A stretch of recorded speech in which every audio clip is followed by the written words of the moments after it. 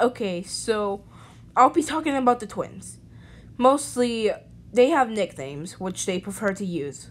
For Chikara, he preferred to use Chiryaki. For Kawaii, he preferred to be called Kuwata. Let's talk about this.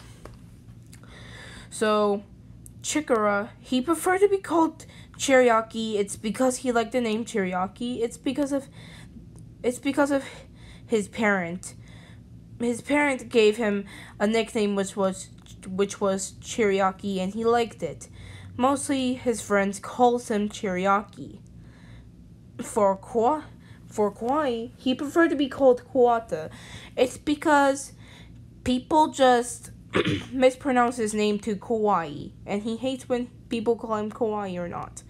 But if they pronounce his first name correct, which was which is Kawaii, mostly he's alright with it, but he hates when people mispronounce his name.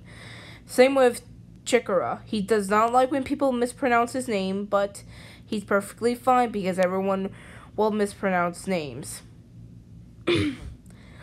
so they have these type of nicknames, like Cheriyaki and Kuwata.